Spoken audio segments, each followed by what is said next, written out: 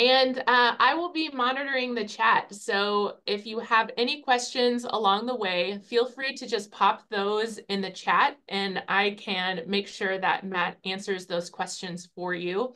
Um, Matt Bunch is a horticulturist and he uh, spends part of his time with the Giving Grove National, uh, helping us with uh, all of our affiliates and our program managers, but he also runs the local Kansas City program done that for years and years. And he'll tell you a little more about himself and what he does, and he'll go uh, right into this presentation. So thank you all for being here with us today.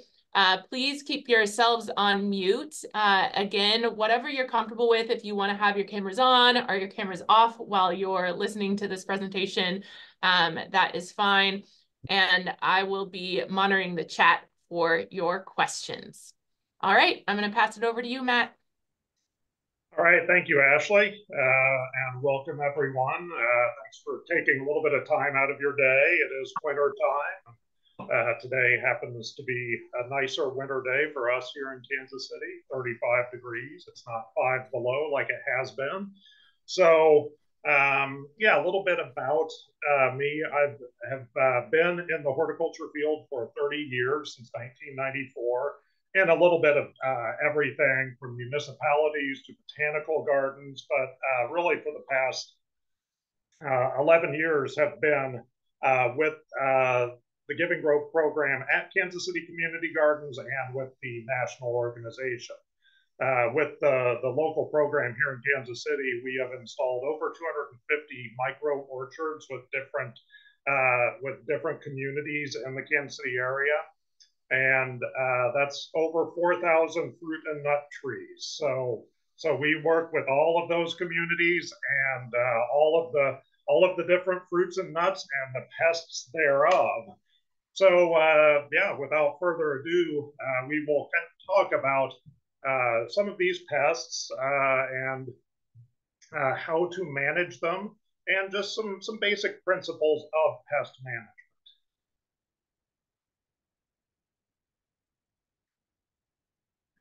All right, first off, I just want to want to talk about what is a pest.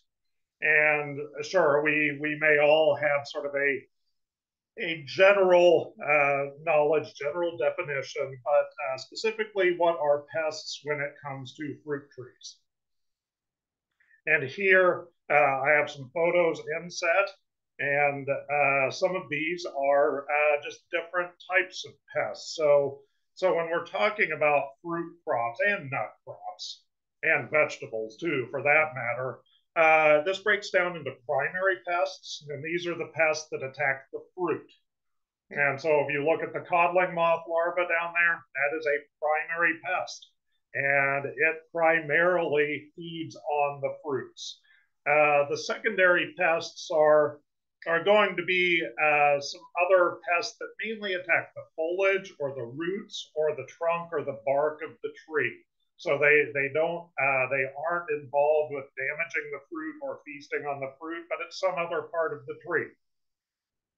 And so that uh, includes like the greater peach tree borer that you see right here. Yes, it can kill a tree, but it is technically a secondary pest. Also, I put a string trimmer in there. Yeah, that's a secondary pest too. So uh, we all just have to have to work on uh, talking to the lawn crews about that. So when, when we go through this presentation, I'll point out what is a primary and what is a secondary pest.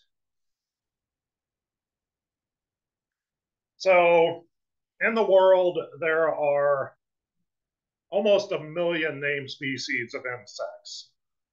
Now, out of that, only 2% are pests, and even less of a percentage of that is pests of food crops, of things that we would be growing.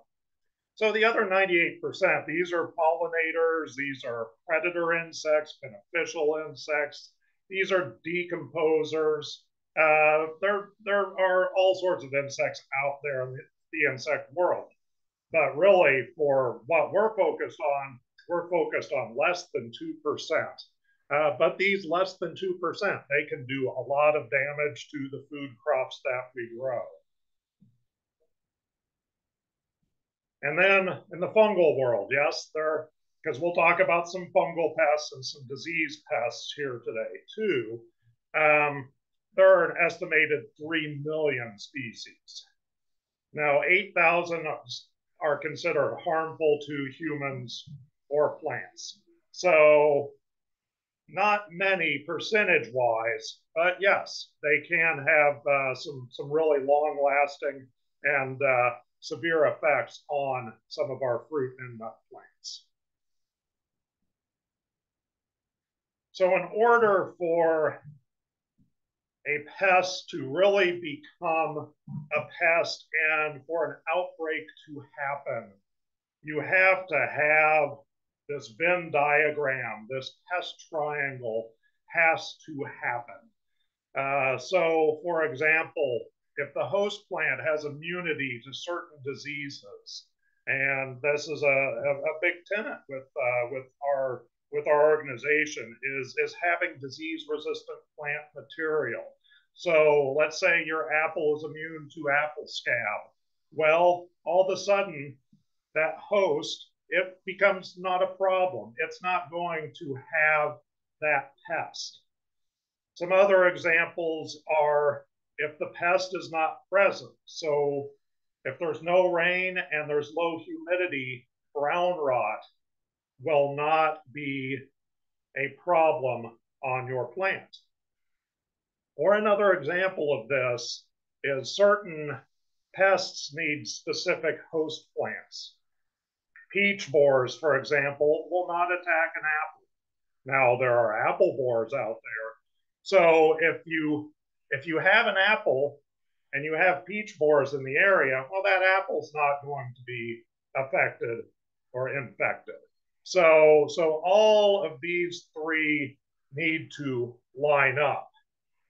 And it's when these three line up and you get that overlap of the three uh, then you have a problem. So the example here is uh, fire blight. Uh, so um, fire blight is a pest.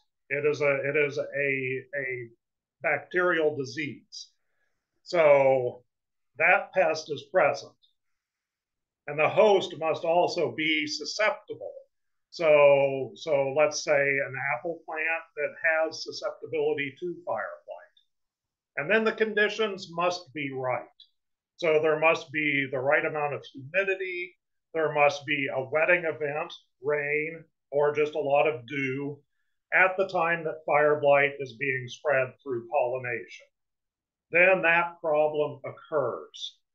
And the thing about this is you will you will find out in the orchard, uh, out in the garden, that yes, you can have two of these circles that are joining, but because you don't have the environmental conditions, there is not a problem present. So, so that's going to be a big takeaway from this is if, if you don't have the right environmental conditions, or if you don't have the right host plant, or if the pest is not a problem in your area, then it's it probably won't be an issue with your fruit tree. The other thing about this is knowing what the life cycle and the biology of the pest is.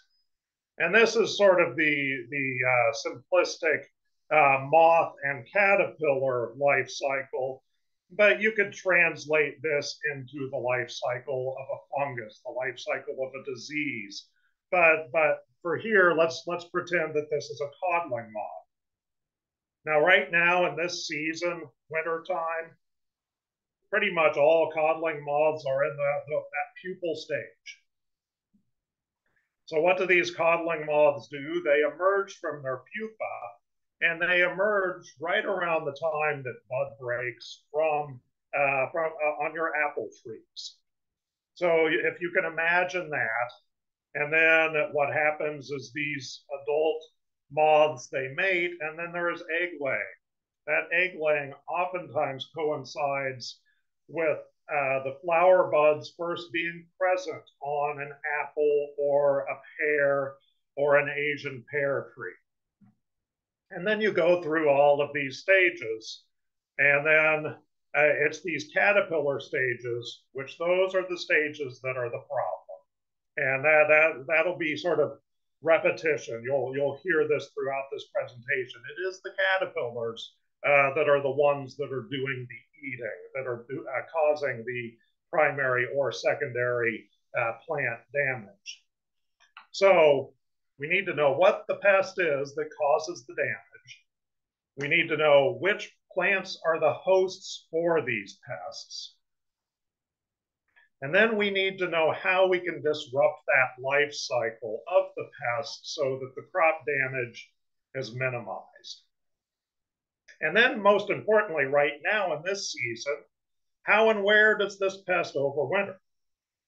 So a pupa right now, well, it's probably going to be overwintering uh, in the ground, in, in the leaf litter, or maybe in some of the cracks in the bark, or underneath uh, a branch, or uh, in a in a cluster of leaves uh, that has been woven together and stuck to a branch angle in the tree.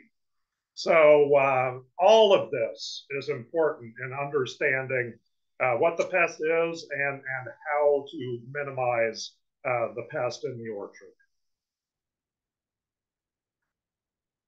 There are some other things that you can do to help minimize uh, damage in your orchard.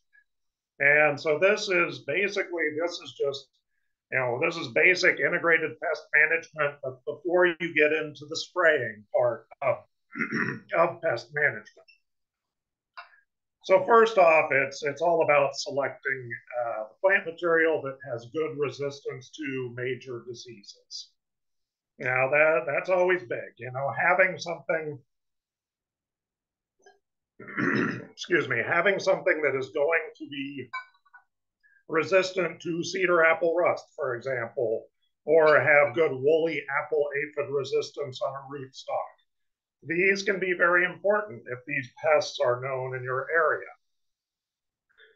Some other things are avoid planting in low areas with poor soil and air drainage.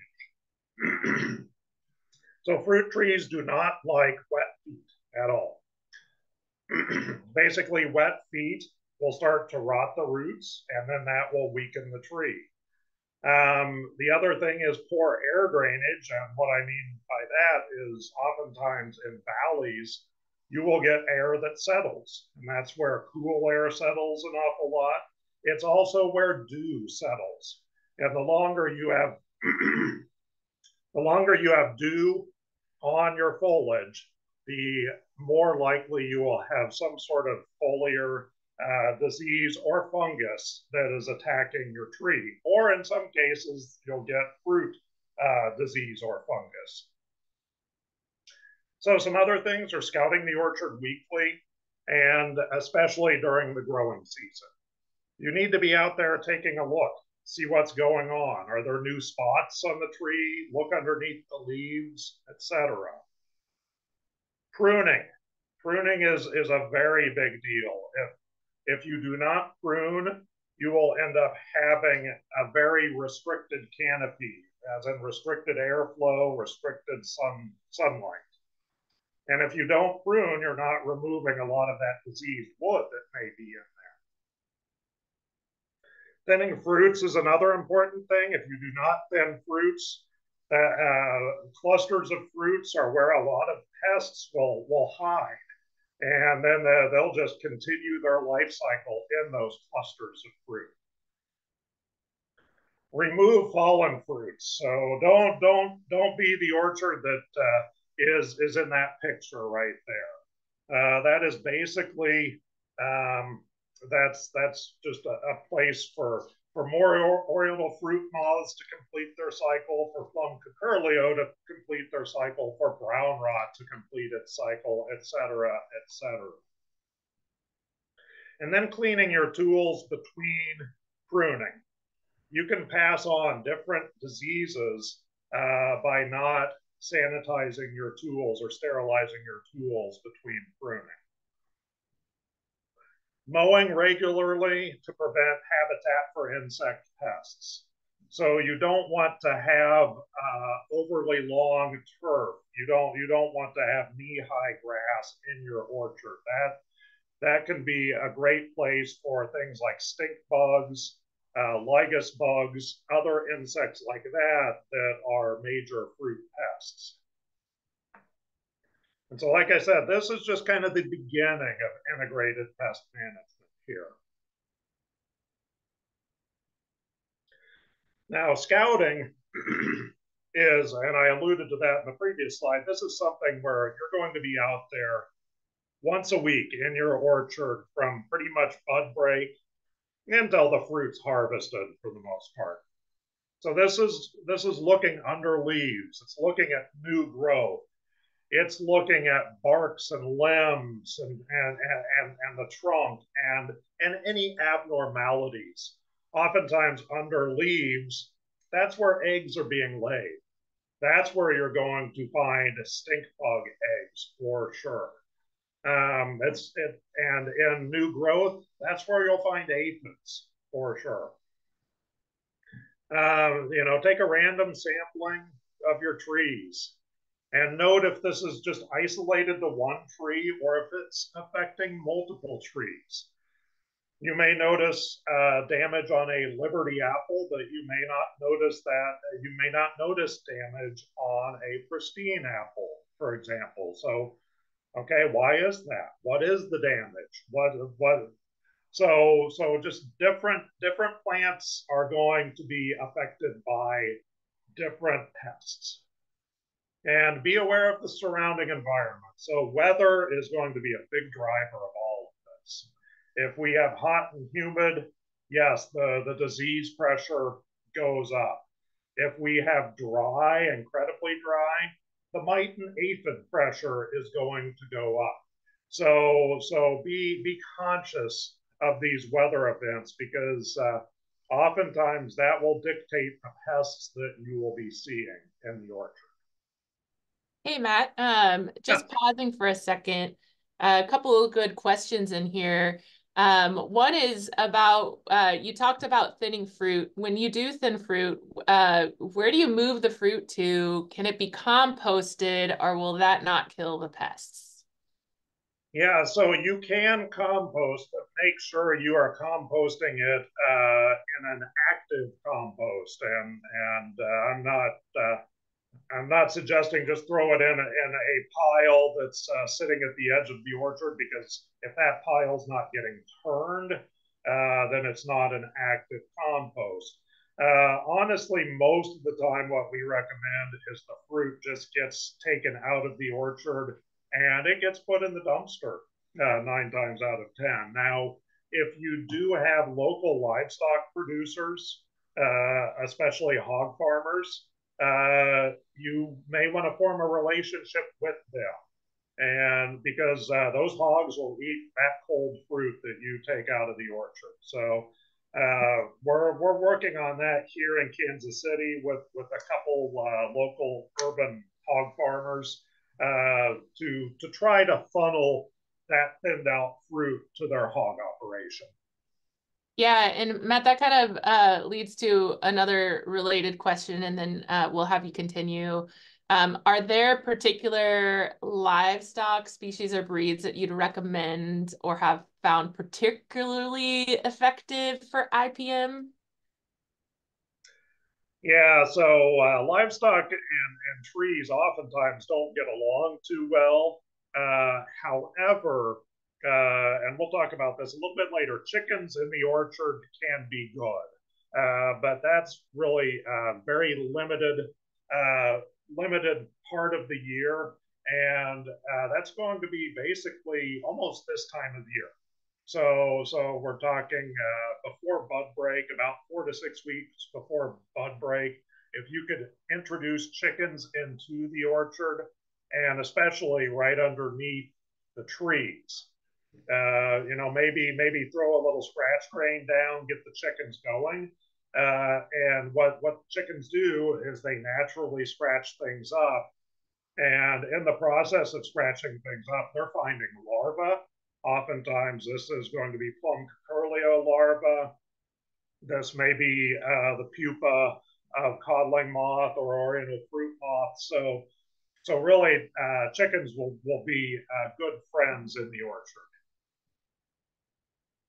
Awesome. Thank you, Matt. You can continue. All right. So, so another thing uh, when um, practicing some of this early uh, IPM is monitoring and trapping of pests. So of course, you know, this is means being aware of the pest life cycles and in some cases using pheromone traps. And that's what you see with this, uh, this, this uh, wing trap here. It has a little pheromone lure. And these are, uh, there are so many different pheromone traps out there on the market. Uh, but this can be very handy uh, in identifying if you have a problem. And then if you do have that problem, then you can start to take corrective action. In some cases, there are also sticky traps. Uh, these sticky traps can be good, especially when we're talking about pests uh, like, like cherry fruit fly, also known as cherry maggot, uh, um, or in some cases, the spotted wing Drosophila, uh, the Japanese fruit fly. Now, another thing about these pheromone traps is they're often used with degree day modeling. Now, I don't want to get too deep into this because the, the deeper we go, the more confusing it can be. However, I just want to introduce this topic because this is really a, a good way to know when you will need to spray. Now, degree days are basically they're the accumulation uh, of temperatures above either 43 degrees or above 50 degrees, depending on, on what pest you are monitoring for. Um, but this is utilizing uh, daily records of temperature and, and adding up the cumulative degrees that, that form. Now, if you want to find out more about this, I suggest going to NEWA at cornell.edu. Um, there are also a number of other uh, uh, University of California. Uh, they also have another good de degree day calculator. But this is this is only going to be, I think, so helpful for small orchards. Uh, a lot of the commercial growers really rely on degree day modeling. All right, so common fruit plant pests. Now notice this is quite a list, um, but it, it, it is also only a partial list. And so you look through here, and I'm I'm I'm talking about some of the major fruit crops uh, that that we recommend. So between uh, apple, pear, Asian pear, peach, cherry, plum, I didn't put the small fruits or brambles on here, but a lot of these fruit or some of these fruit pests do cross over into these small, uh, small fruits and brambles. But basically, the top 10 we will focus on are going to be these here. And the reason why uh, I'm focusing on these is because these are kind of ubiquitous uh, nationwide. Uh, now, now some parts of the, the country do not face the same pressure as sort of uh, um, east of the Great Plains. Uh, but uh, a lot of us do see these pests, and we see them in, in more or less, you know, more or less similar degrees. Um, so with these top 10, you'll notice where I have a double X. These are particularly a problem uh, for that particular fruit. And so I'll be going through and, and we'll be talking about each one of these one by one, uh, how to identify them, and some, some actions that we can take to uh, mitigate their damage altogether. Now, I included this slide because I thought if, if we're going to share this later on, this kind of breaks it down. And this this this uh, so it breaks it down fruit crop by fruit crop, so you can then kind of understand that oh, peach is, is going to have all of these problems. In some cases, they will have some of these problems pretty severely, uh, whereas cherry maybe has less problems. Um, and, and plums may be a little bit less than peach. But then you look at apple, and it's like, oh my goodness, apple has a lot of problems. Well, yeah, they do. They do. Um, and then Asian pear and, and European pear, yes, they have some of these problems, but but notice on them you don't see any of the two X's. So so the there's there's not uh, they don't get particularly over infested with any problem. So yeah, let's let's get into into some of these insect pests and, and talk about why why they are a problem. And I will say codling moth probably ruins the fun for most apple growers around here, and I'm sure that is the case in, in most of the other regions. Um, so basically, this is a moth, and as you know, moths fly at night. Um, so uh, if we if we refer back to our life cycle, uh, this particular uh, moth is actually in its pupa right now. It will be flying uh, uh, pretty much as soon as our, our apple trees start to break bud. And what these uh, what these guys do is so they will mate. The female will lay eggs at the base of the new new flower or fruit and then the larva will uh, chew into the seed chamber. Uh, depending on what part of the country you're in, there, there may be two or three generations of this per year. So this means that uh, they once they once they lay their eggs uh, on the fruit, uh, the caterpillar eats into the fruit. The caterpillar uh, comes out of the fruit and oftentimes will either crawl down the tree or fall uh, onto the ground, and then it will begin a pupation. Now, um, most of the time, uh, they will they will pupate, and then they will they will fly again. Um, sometimes they'll they'll mate and have another generation. Sometimes they won't. It depends on on how uh, how many degree days we do have or you have. Um, so some some handy ways to combat this are uh, use monitoring, uh, use degree day monitoring with pheromone traps.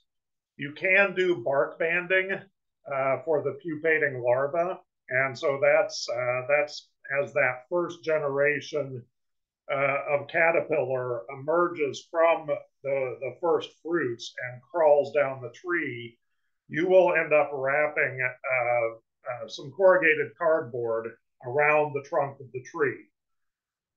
You leave that on the trunk of the tree for two to three weeks, and then you take it off, and you will see a bunch of uh, little larvae that will, are, are starting to um, uh, pupate. And at that point, you will you'll take that off the tree, and you'll end up burning it or throwing it away. Now, some other things that, that you can use against codling moth are uh, things like BT, spinosad, and neem. Um, all of these are organic insecticides. And basically, the best time to be uh, spraying something like this is right as those, those caterpillars are first hatching out or right as the eggs have first been laid. So this is going to be at the base of a flower bud, or in some cases after petal fall. And, and petal fall is exactly what it sounds like after the petals have fallen off of the blossom. And these are two really good times to end up uh, uh, killing the larva or or in some cases, preventing that larva from going into the next stage of its life. Now, the other thing I have down here is mating disruption. I put a put a question mark here. Um, mating disruption is is something that works. It is actually a, a pheromone disruptor uh, that is uh, put out in the orchard. However, it's not something that is uh, available in all states. And in some cases, it, it may not be cost effective for uh, what we're trying to do in little community orchards. But I wanted to let you know that it is out there. Uh, these products are used in a lot of organic orchards uh, on the commercial side of things, but uh, they, they, they're probably not applicable for most of our community orchards yet.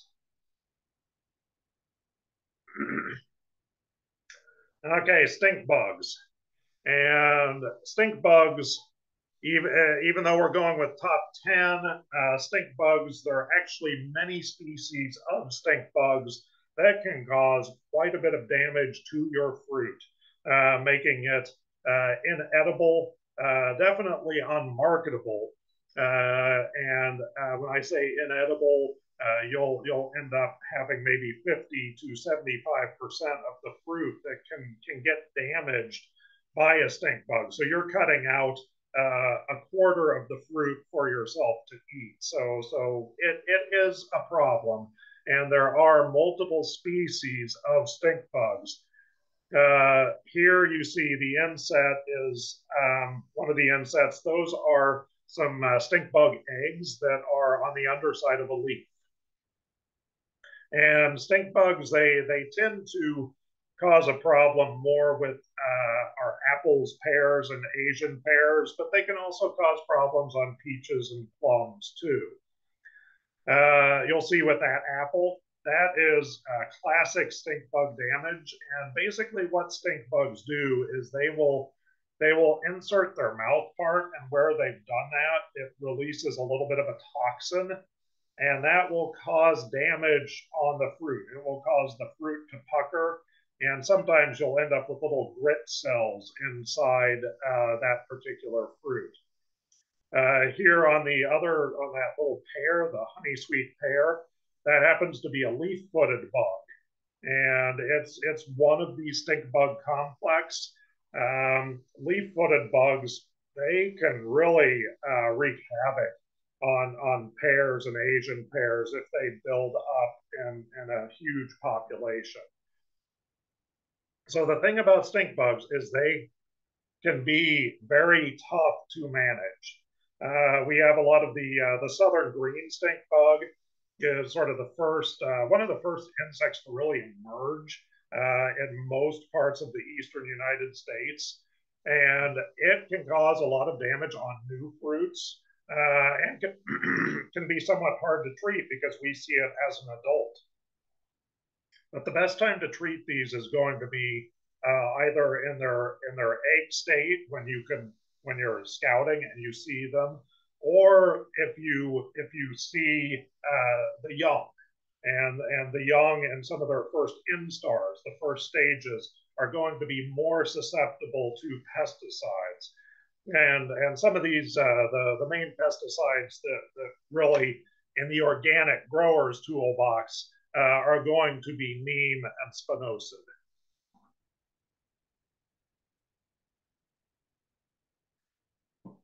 All right, here's one that uh, that can also ruin the party for fruit growers, and this is uh, another primary pest. It's a plum curculio. Now, curculio is, is uh, basically a weevil species there are lots of weevils out there. There, there. Of course, we know about the cotton boll weevil. Uh, there's the strawberry weevil. There are oak weevils. There are lots of lots of weevil pests out there. There are sunflower weevils. so this is is a problem uh, in a lot of our fruit crops. Uh, not only not only plum, uh, but it does favor plum but it, it will uh, also attack peaches, uh, pears, apples. You do see it in a lot of apples. So as we were uh, as we were talking earlier, um, you know this this is uh, the life cycle on this. It's basically an adult. Uh, it, it it it overwinters as an adult, and then it emerges in the spring uh, so it, it kind of it's it's kind of this large well it will it, it can overwinter as a larva or an adult. So depending on where we are. Um, it ends up feeding early on on the buds of trees. So, so you may see uh, your apple fruit buds or your pear fruit buds are damaged. Well, that can initially be uh, some of that early curculio feeding. Now, later on, after they have mated, the female will end up laying an egg. And so if you see there's that long snout, that long snout is used to break the tissue of the fruit. And then the female will turn around and lay an egg down in that hole. Now you see on that second photo, it's it's sort of uh, sort of a, a, little bit of a half moon, uh, crescent moon type shape. Uh, that is where an egg has been laid. Now you see the photo below that that is where the egg has been laid and the apple has calloused over uh, that wound. So that is a, a very specific wound that has been caused. And then lastly, you see the, uh, the inset there uh, of, the, of the little larva within, that looks like a, a peach pit. Uh, so the, the larva has eaten into the fruit. So these can be very difficult to uh, deal with when you get them in the orchard because they they emerge either as adults or they are they are in that that that that larval state or the, the excuse me the pupal state into the adult stage and it's hard for any sort of chemical to work against them any sort of insecticide to work against them so a lot of the controls with this are if you have an existing orchard, make sure that you are just picking up all of the fruit that drops on the ground and get it out of the orchard. Um, some other things that you can do, and this can be a, a little bit more challenging, is uh, spraying kaolin clay, also uh, also known as surround. It is a, a wettable clay powder that gets sprayed on the tree. Now, when this gets sprayed on the tree, it coats the tree, and it's something that uh, the insects they they will land on the tree, but it really it disrupts it. It basically they don't like the way it feels, and they're not going to stick around on that tree to figure out if there's a place to lay an egg. So kaolin clay serves a little bit as a crop protectorant.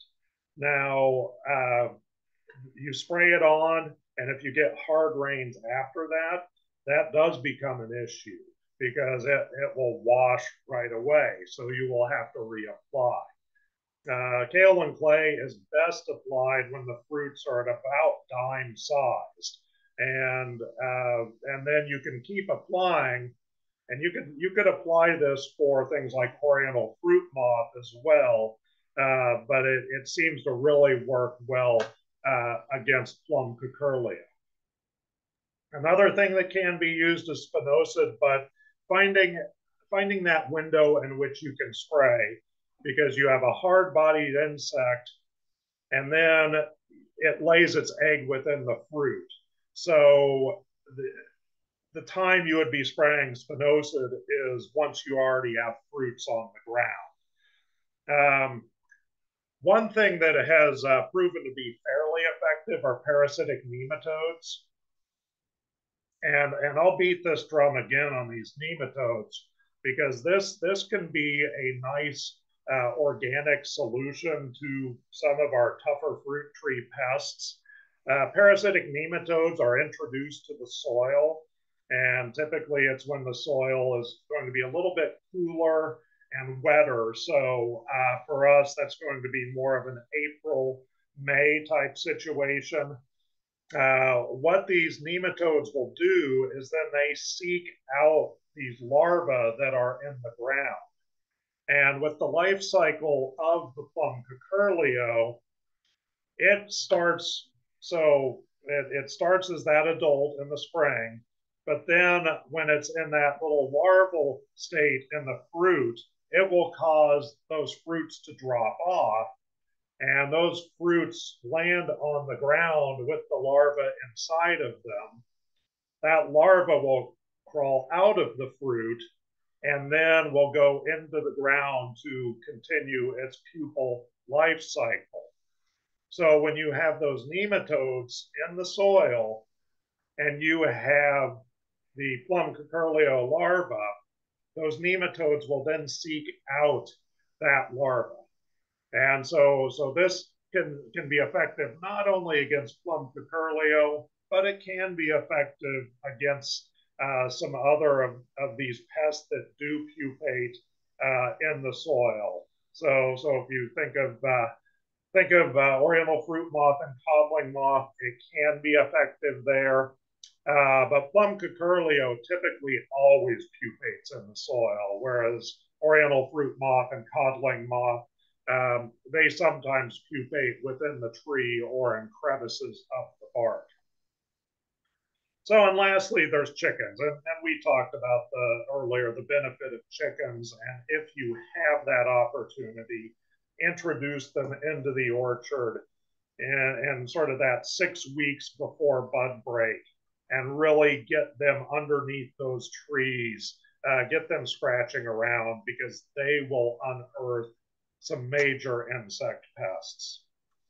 Hey Matt, uh, while we're while we're on this slide, there was a question related. So it's also kind of about scouting in general. Um, so what infection load do you treat? Uh, for example, if you see plum curculio, is it too late to treat it uh, once you've seen it? Uh, and then do you just plan preventative measures for the following season? So it's kind of a timing question with the pests. Yeah, so so with plum curculio, oftentimes uh, once once you once you've noticed it, it's it may be too late. It really depends on when you've noticed it. Now, if you see a bunch of fall, so there's there's there's uh, it's it's called the June drop. It happens at different times uh, for different areas, but it's it's right when when uh, some of those young fruits drop. Well, that's almost timed perfectly with uh, when plum curculio uh, is causing fruits to drop also. So uh, when you have that June drop of whatever the, the species is, be it peaches or pears or apples, um, get out there and pick those up. Because the sooner you are out there doing that, the sooner you are probably disrupting that life cycle. So if you miss two weeks in your scouting, um, that may be enough where that curculio larva then is able to migrate from the fruit into the soil. And then it becomes a problem for later on that season when it will become when it will feed again on on some of those older apples. Uh, plum curculio can have another generation uh, in in more southern areas, and so that other generation uh, would basically those eggs would end up getting laid in kind of uh, July August ish. Um, and then those fruits will then again drop.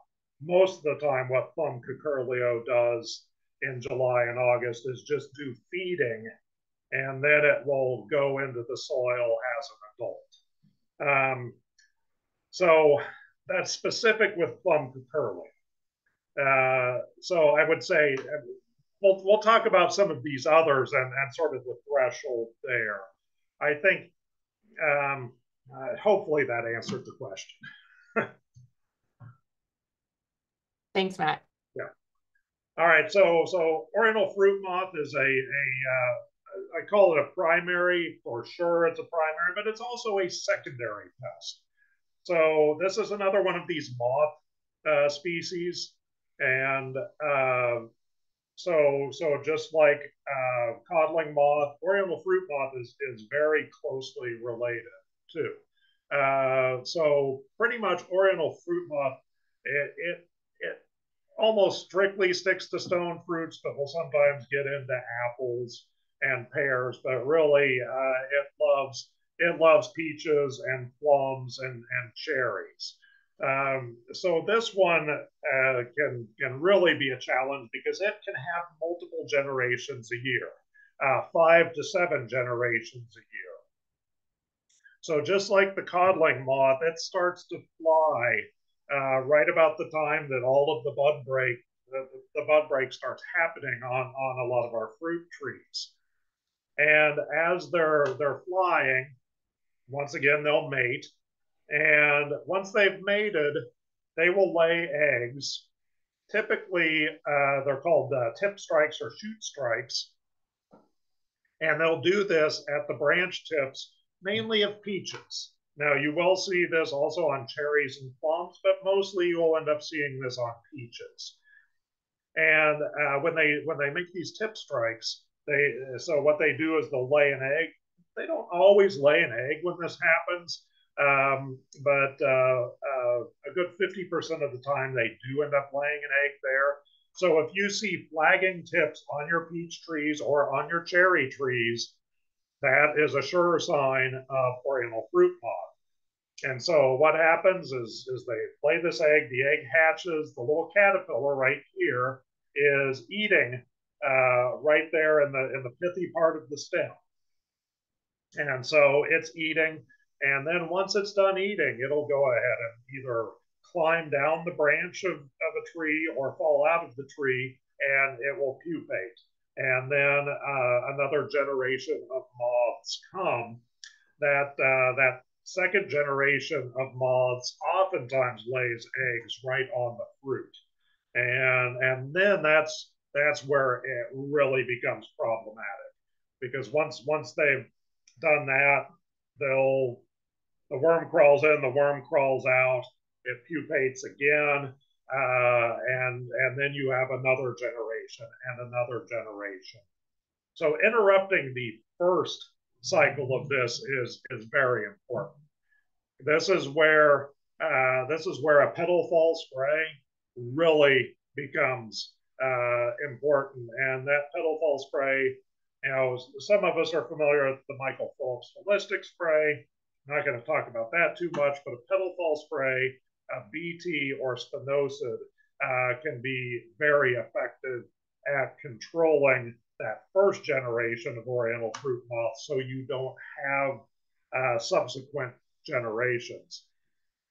Now, if you do see things like uh, shoot strikes, uh, you can prune out below where that shoot strike is and get that out of the orchard. Just uh, bring a plastic bag with you and, and, throw it right away, or you know, give it to the chickens if you have some chickens uh, in the chicken yard. They'll they'll pick it apart and find the larva in there. Um, so the other thing is, um, you know, there's there's always the pheromone monitoring and trapping yes, I think that is that is important.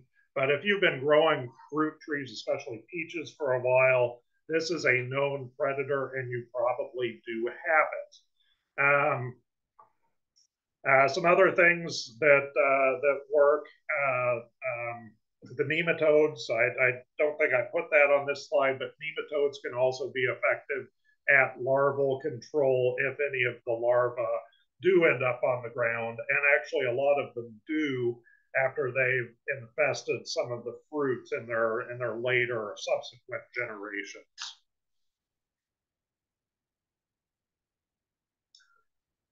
All right, spotted wing Drosophila, also known as the spotted wing fruit fly or the Japanese fruit fly this wasn't a problem uh, 10 to 12 years ago, uh, but now it is definitely a problem throughout most of the eastern U.S.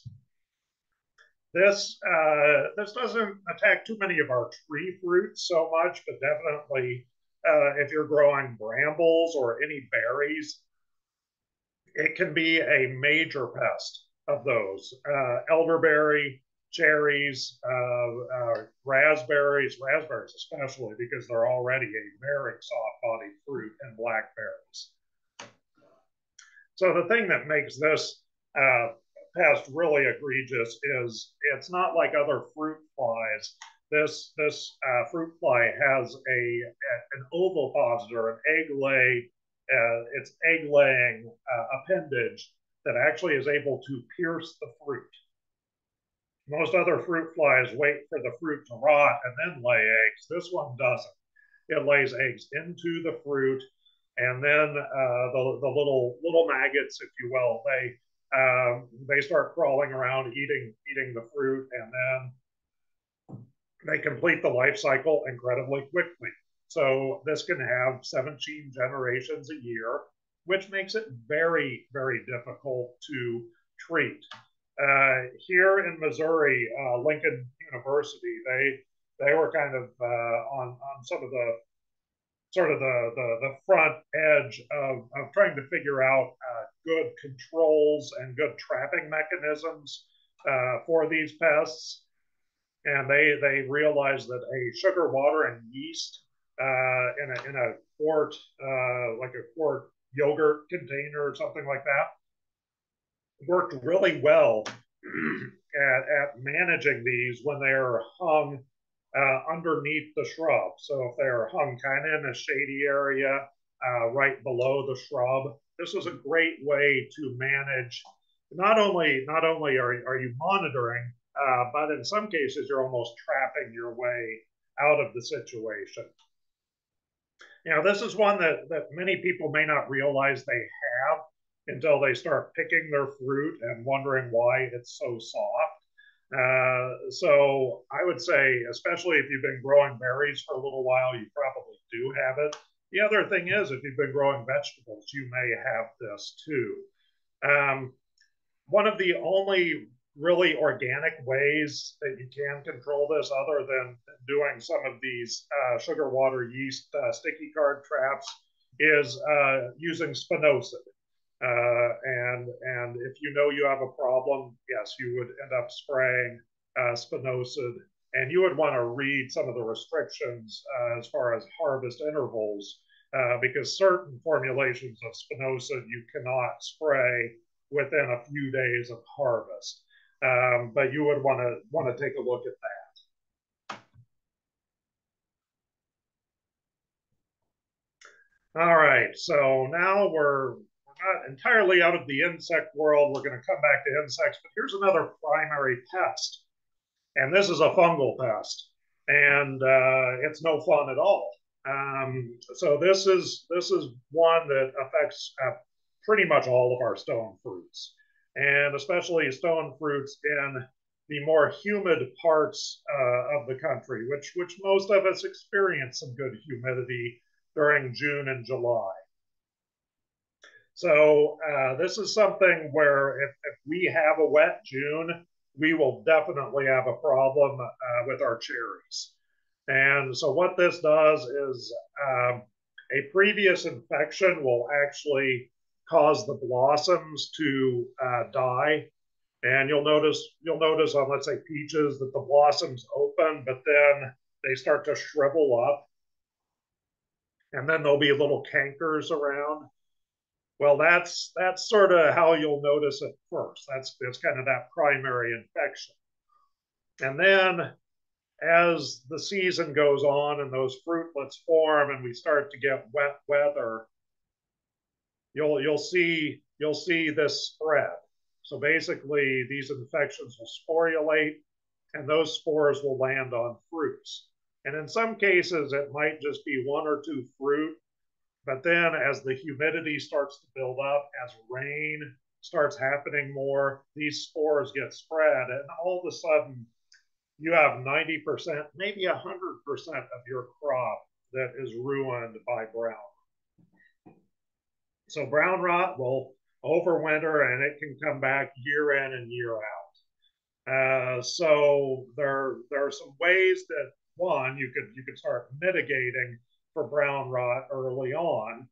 Uh, I'll also tell you that early early ripening varieties are less susceptible to brown rot.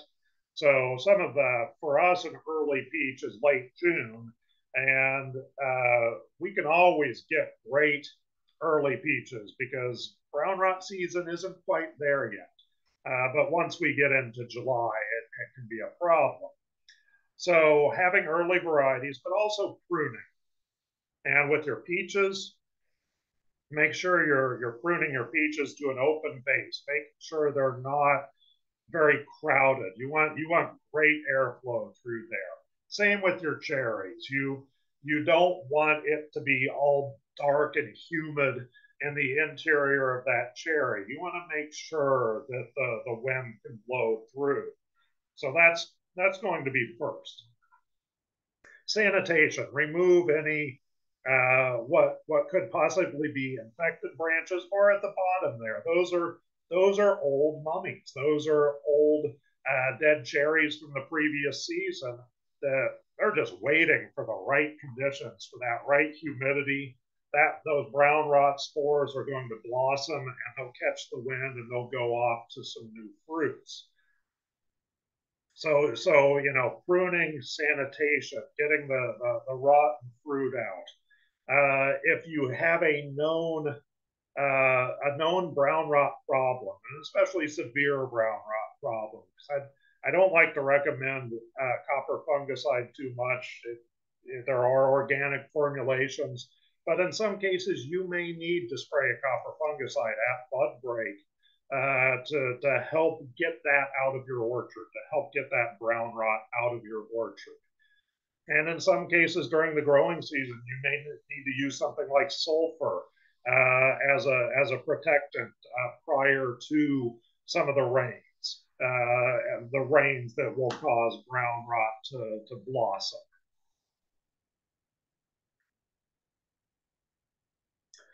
All right, fire blight. Now, just because it's a secondary pest doesn't mean it can't kill your tree. And so this is uh, this is one, and once again, uh, in our in our Venn diagram of, of, of our, our disease and uh, uh, pest and, and host and, and conditions, um, we know we have this around the Kansas City area. I know you have it in Georgia. I know you have it in Indiana. I know you have it in Texas. This is, but certain years it, it can can be worse than others. Um, basically, this is a disease of all of the pome fruits. So you think apple pear, Asian pear, service berry, quince, medlar, all of those uh, can get this. And, and some varieties are, are going to be more susceptible than others. So basically, fire blight is something that um, it, it gets spread through a number of different ways. It is a bacteria, uh, and it can get spread through through pollinators, uh, going from one infected blossom to another. It can get spread by rain or hail events, where a a a wound on the infected portion it, it gets hit by hail or hit by rain and it splashes onto another stem and another leaf. Uh, sometimes cold injury can cause a problem. 2014 was really bad here in, in uh, Kansas City and Missouri uh, with fire blight because we had fire blight active. Then we had a snow in mid May that actually caused a lot of tissue damage. The temperatures warmed up again, fire blight was active again. We had damaged tissue. There were there were horrible cases of fire blight. So anyhow, this is what fire blight looks like. Uh, often and very characteristic. You see the shepherd's crook uh, that is uh, basically the infection. The infection got started through uh, a flower, and you can see some of the little fruits there, little fruitlets. Um, and then that infection travels up the stem, and then it'll go back down the twig, down into a branch, and it can get into the trunk. So it can spread and systemically kill the plant.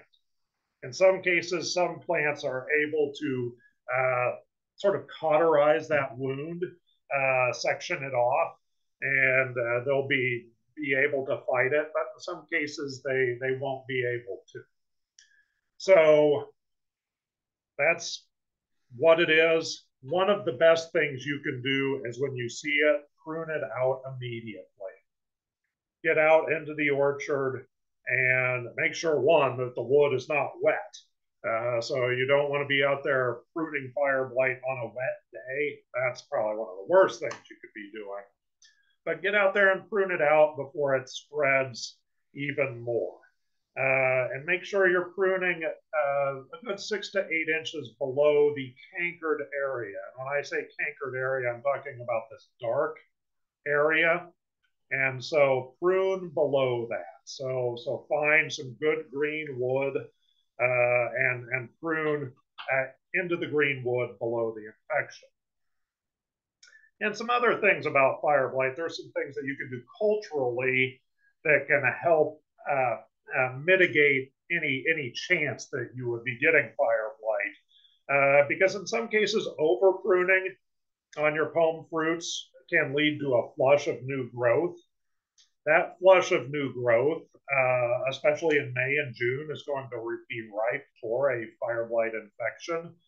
Uh, also, over fertilizing can can lead to infections because you are basically forcing new growth on something and it's it's that new tender growth that is that is going to be more susceptible to that infection hey matt uh, before uh, before you continue i just want to let everyone know we'll um, our goal is to uh, go until 3.15. Uh, however, I think we uh, might stay on a little longer to, to answer any questions that people may have um, we're we're also recording this. I've recorded your questions, so if uh, if you do need to hop off, um, I'll make sure that we have uh, all of the questions listed uh, in a follow up email and answered, along with some other resources. Uh, but just want to let you know we we value your time. Thanks uh, for showing up. If you do have to hop off, but uh, we'll go a little bit longer with this session. And um, related, Matt, one question uh, someone was just asking is when you're saying get rid of diseased plants, um, what do you mean by that? Where do you put them? Uh, so if, if yeah, if you're cutting disease out of the orchard, uh, you're you're taking it one off of the premises where the orchard is. Oftentimes, uh, I mean, you could burn it. Um, uh, some yeah, some people will dig a hole and bury it. Uh, most of the time, it ends up going in the dumpster. So so, but you you don't want to just cut up diseased, uh, uh fire blighted wood and leave it there in the orchard. So so I mean the, the takeaway is don't leave it in the orchard. And don't put it in somebody else's orchard. Thank you. All right, so uh, peach tree borers, and, and actually uh, kind of covering two two different species here. We have the greater peach tree borer, uh, which which will kill peach trees, and is one of the reasons why peach trees only end up uh, living about 10 to 15 years in, in, in most environments. Um, so you'll see the male and female down here, these uh, they look like wasps. They're actually a clear-winged moth. Um, so so basically, what they, these do is they uh, they will start to emerge as these clear-winged moths uh, in kind of April May. But right now, they're very much in this grub-like state. This this uh, and and you see all of the, the nasty frass and dirt and those two little plump grubs. Those are greater peach tree borers. And if you look at the bottom of the trunk and if you see oozing like that at the bottom of the trunk, you have greater peach tree borers in there. So oftentimes, if you see something like this this time of year and you have a chance to get out there, uh, you should be actively uh, deworming your trees. Um, and it's it's just as nasty as it sounds, but it's it's really going to be the most effective way uh, to treat uh, this this time of year. If if you let these go to full uh, maturity, they will get bigger. They will keep chewing uh, if they haven't girdled the tree by then, uh, the subsequent generation the next year will probably be girdling the tree. So they really love peaches, but they will also attack plums, uh, apricots, cherries, uh, so all of those stone fruits, nectarines. Um, so the adults end up uh, flying and mating April through August, and they, they lay their eggs uh, at the base of trunks or about a foot a foot above the base, all the way down to the trunk, uh, in in sort of that May through September. Um, larvae will will hatch and are active in the trunk uh, from June through April. So uh, that's a that's a long time for a, a larva to be just kind of going around chewing and eating. During the winter time, they're not very active. Nothing really is. Uh, but you will start to see more sap uh, being exuded from the base of these trees in, in March and, and early April as these larvae are getting ready to do their pupation into the full adult. So some things that to protect your trees you can do is uh, through the summer months, you could end up spraying neem, a 1% neem spray on the trunk of the tree. And this, this will help, this creates uh, a surface that the, uh, the borer will not, the borer's not gonna go there. And if there are any eggs that have been laid, the neem will stop the, uh, the cycle of that egg. That egg will not hatch. Now, some other things are putting window screen around the trunk of the tree. And this is something you would you would put at about uh, 18 inches uh, up the trunk all the way down to the root flare of the peach. Some chive planting around the base of the tree with periodic cutting serves as a scent disruptor, and the, the female borer uh, will not be flying around to uh, lay her eggs right around there. But another thing too is, is uh, putting pea gravel around the trunk base. So that pea gravel creates a surface that then that, that female will not get to the root crown and will not be able to, to lay directly at the, at the base of the tree. I mentioned the deworming. There are pheromone traps and there are beneficial nematodes, and, and it's the same, same nematode uh, that's responsible for uh, uh, seeking out the the plum curculio larva would be the same the same species that would also seek out the greater peach tree borer.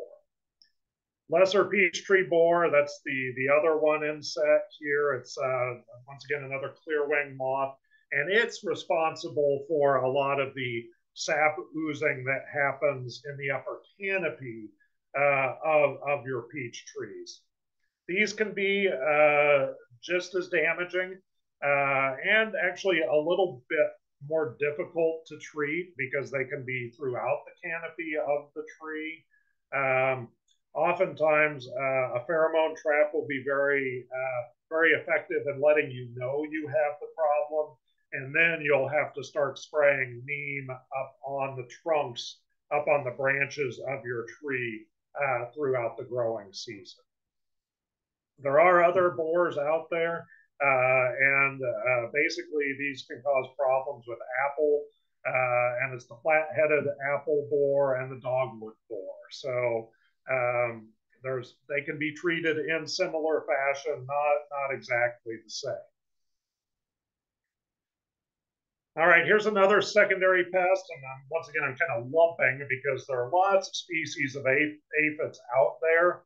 Um, we we face uh, a couple of different species that are are, are major problems, and they're uh, mostly a major problem with apples.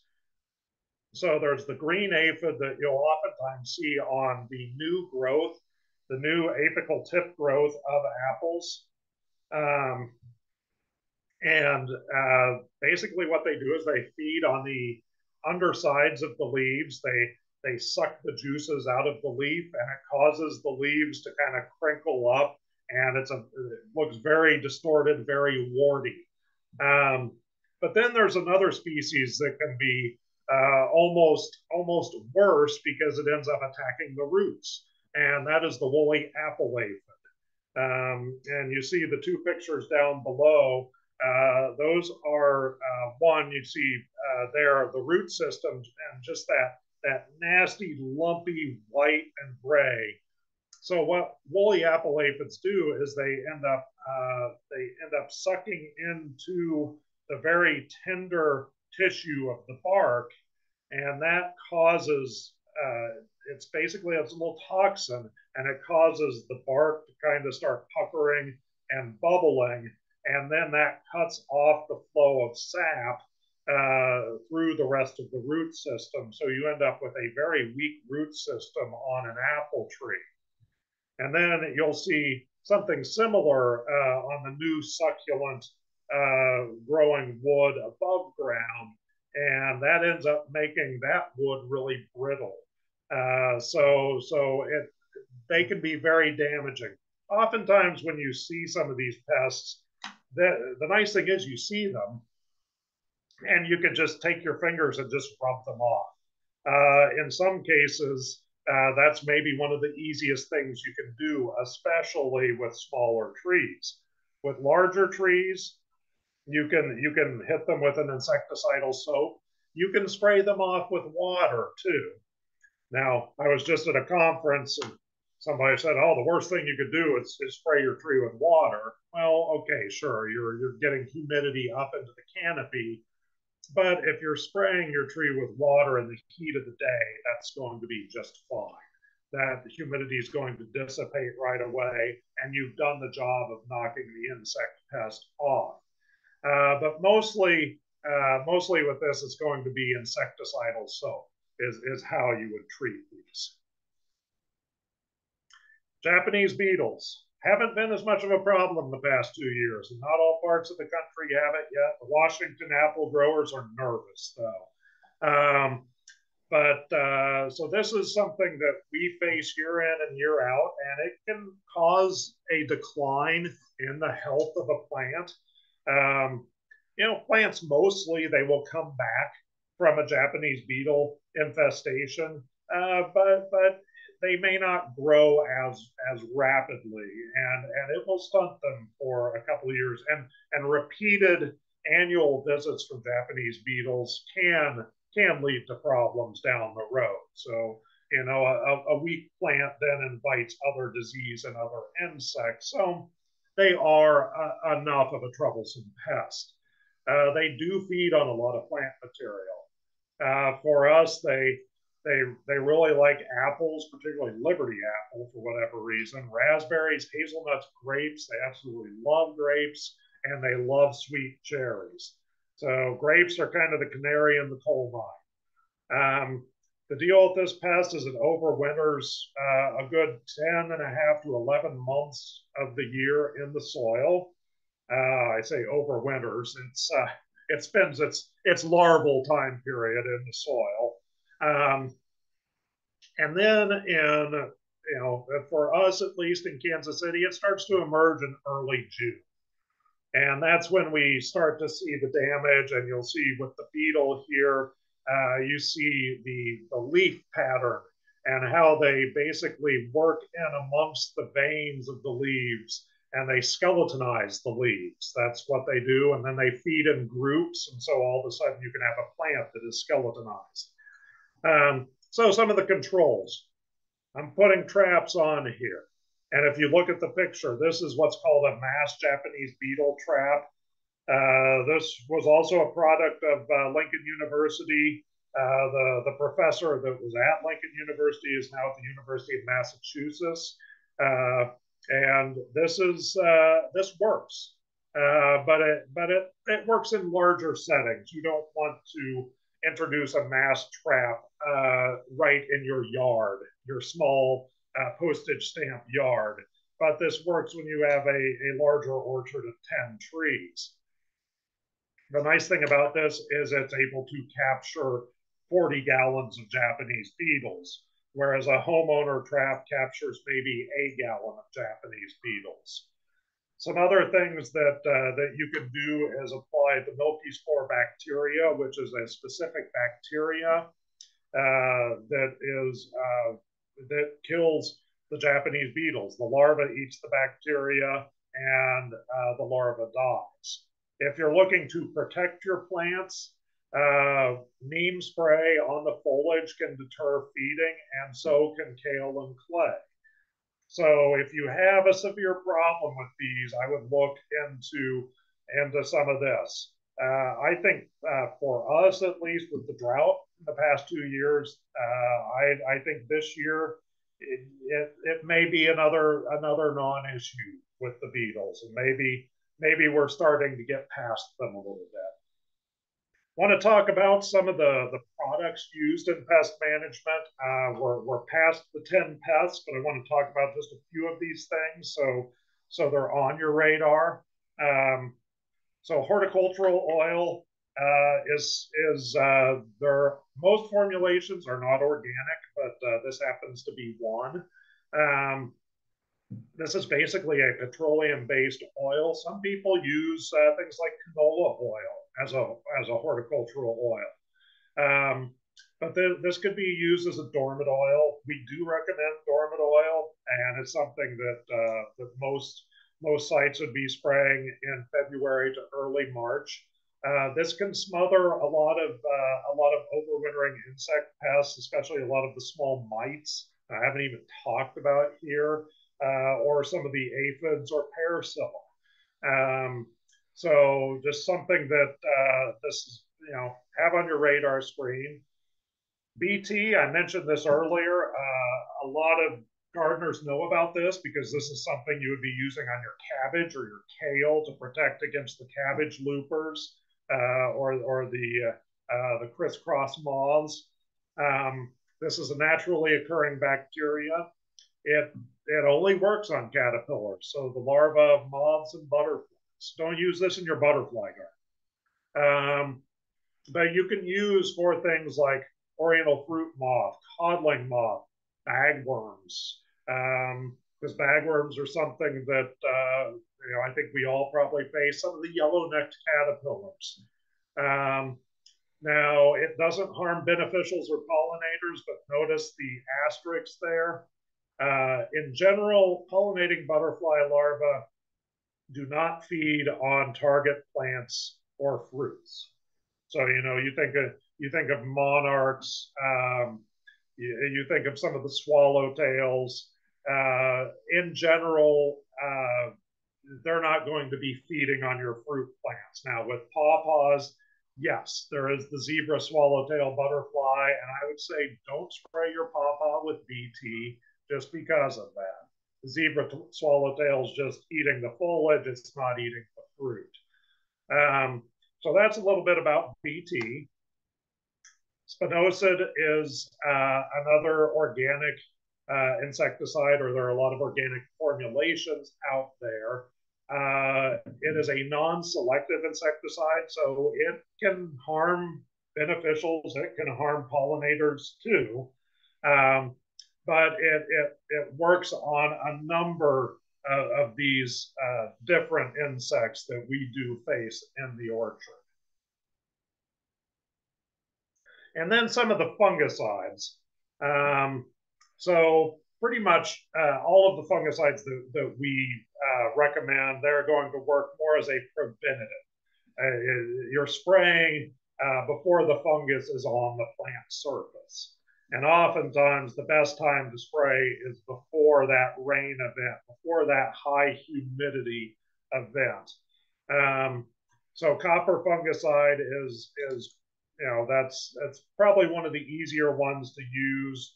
Uh, however, you don't want to overuse it, or in some cases, uh, it's not recommended to use above a certain temperature because you can cause foliar damage or you can cause fruit damage uh, with that copper. Sulfur uh, can be somewhat difficult to use in the wettable powder form, and it definitely leaves a residual smell. Uh, you will you will smell that in your orchard for a while. a good two weeks after, if not longer. And then neem oil, uh, it, it does have fungicidal properties, uh, and it is fairly easy to use and pretty safe to use.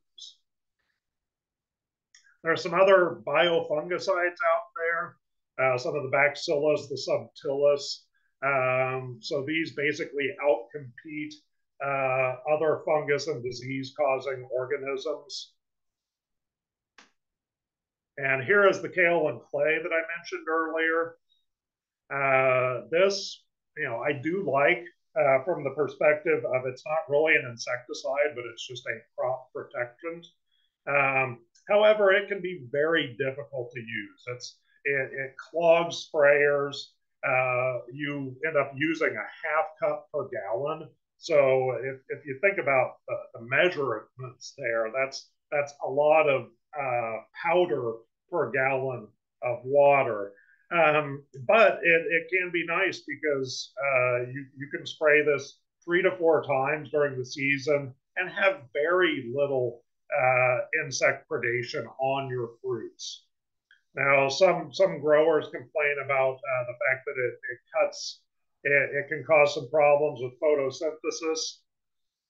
You know, the, the, from my experience is we end up getting a lot more sunburn anyhow on our plants. So and some apple growers will actually use this uh, to prevent sunburn on their fruits.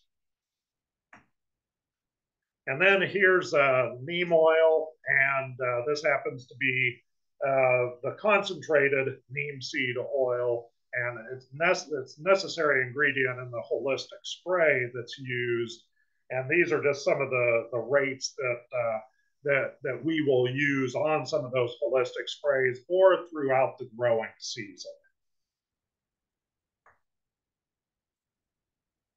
And here are some of the resources and, and uh, you know, Arbico Organics is, is a, a great place for finding especially beneficial nematodes. So if you're looking for beneficial nematodes, they're the place to go.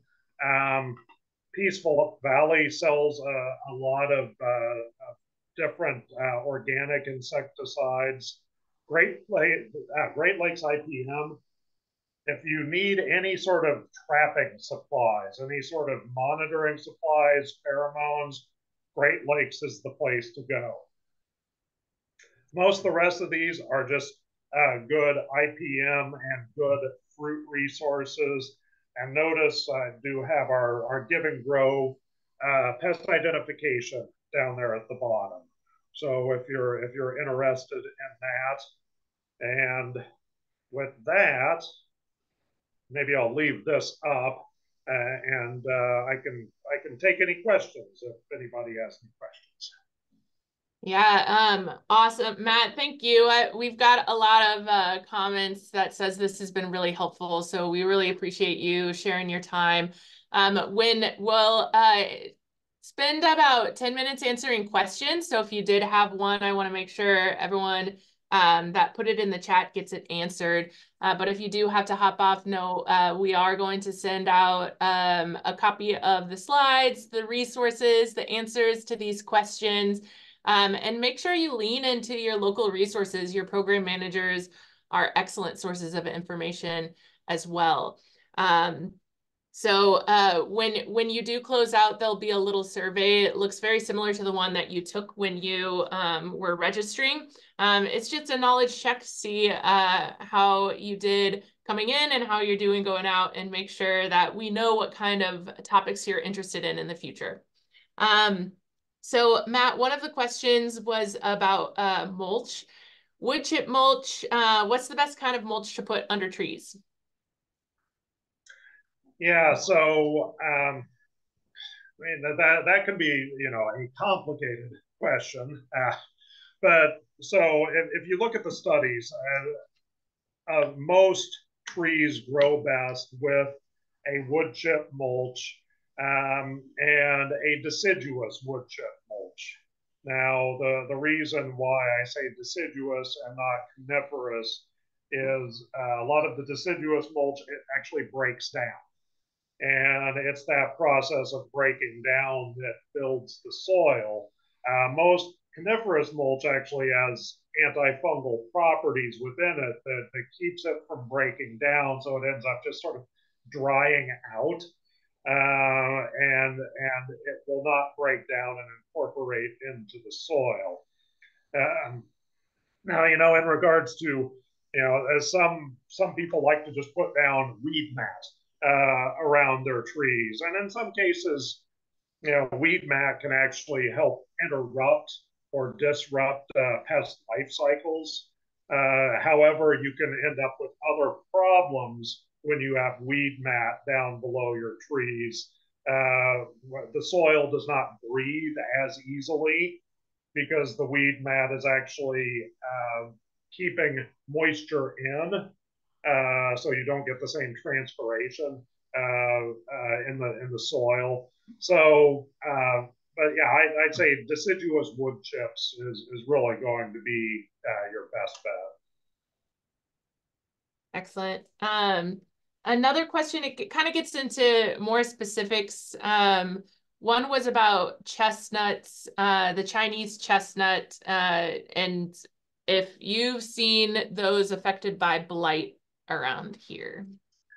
Yeah, so they will they will get little bits of blight, but not to the point where it, it's not something that gets into the trunk. So you'll you'll lose a limb here and there. It's uh, it's not most Chinese chestnuts have a, a decent resistance to blight. So now, that being said, different parts of the country may be experiencing more blight pressure. And so, you know, here within, uh, here basically west of the Mississippi River, uh, the, the chestnut did not exist naturally. It was not a the American chestnut, I should say, was not native, and so the blight never, was never a problem over here. Now, in a particularly blighted area of the eastern United States, yes, chestnut blight could be more virulent and get into Chinese chestnuts more. Thank you. Um, another one is about uh, pawpaw treatment. Um, I think you pronounce it Phyllosticta, the leaf spot or leaf blotch.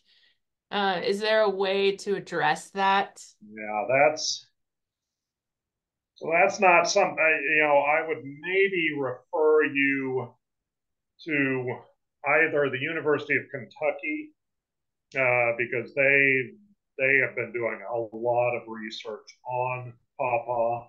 So that's that's really really their wheelhouse. I know uh, MU has has some uh, research fields of pawpaw, and that is that's something that that I know they they have issues with.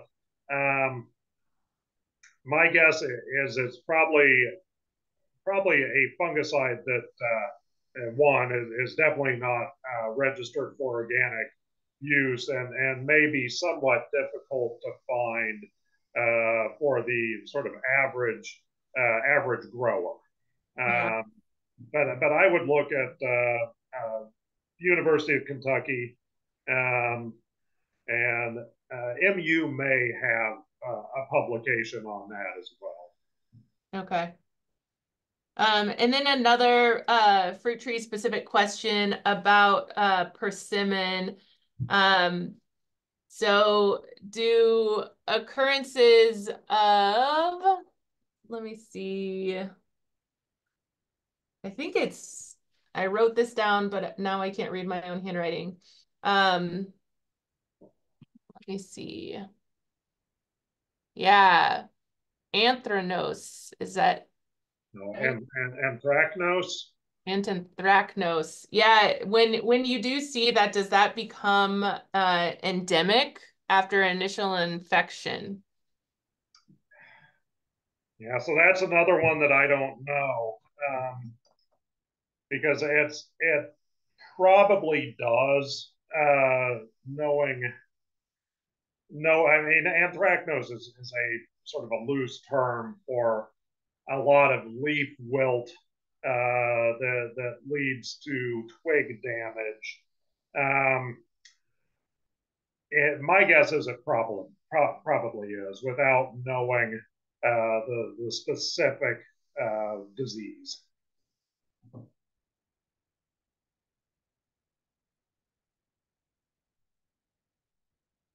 Oh, you're. Oh, another final question is um, about uh, spotted lanternflies. Are those affecting um, any of our uh, fruit nut berries? Well, yeah. So that's uh, you know the the further northeast you get, uh, yes, uh, and so they they do they do especially like grapes um, but they they will they will feed on a number of different species of plants. They they seem to really like uh, a certain invasive species, the tree of heaven, and so they they will congregate there first, but they will then have spillover into orchard areas, and it, it seems like what happens more than anything, it's the uh, it's all of the the their excrement that basically starts to coat the plant and leads to problems with photosynthesis uh, and also a little bit of a little bit of sap decline. It's a pest that I'm glad we don't see here yet. I know our, our days are numbered uh, in Kansas City as as people travel back and forth um, and and I haven't I haven't kept up with uh, how everybody in Philadelphia is doing. I you know, I'm curious how Pittsburgh is doing uh, with this if it's a problem in in uh, Western Pennsylvania yet. Excellent. All right. Well, um, that was all the questions from the chat. Uh, one, uh, I'll I'll give another minute if anybody wants to unmute and ask Matt a question directly.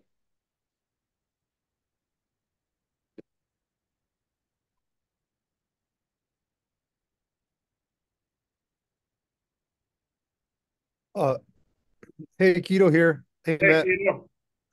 How you doing? Uh, I'm great. Um, this has been really awesome, but it's also like a lot, I think, to navigate for the average orchardist. And I, um, I'm just wondering, I like the other way of thinking about this, you know, approaching pest pressures is to like is like the general like the general kind of recommendations.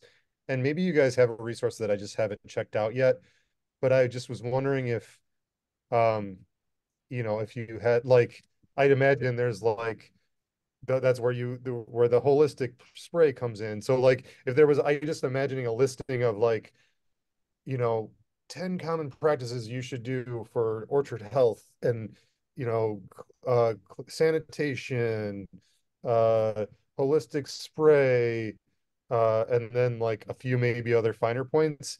Does that exist, or is that could that possibly be a topic uh, or like a one pager or something for the future?